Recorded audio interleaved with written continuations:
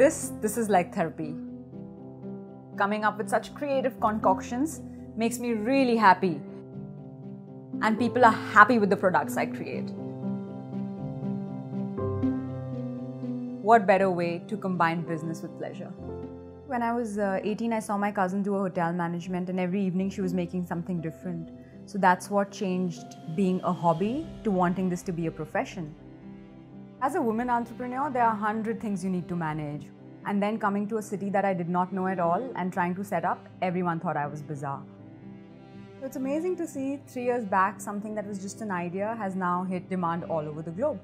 For example, something I created for just the Indian market, a chili chocolate. Now the entire globe wants to come and try this flavor. When I talk about these flavors, everyone's excited.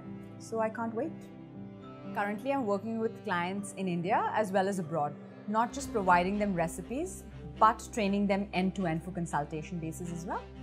The festive season is here and everyone's excited, everyone's psyched. Uh, we're getting calls not just from clients in India, but all over the globe. We want them to use our service, we want them to be happy about our service, plus at the same time that we want a very easy process for them when it comes to transactions. PayPal has made one aspect of my business easier and safer by allowing me to reach to global audience without worrying about safety, it's bliss. Being an entrepreneur is a lot of hard work. If you have a dream, go for it. Give it your best shot. Creativity has value. It's worth it.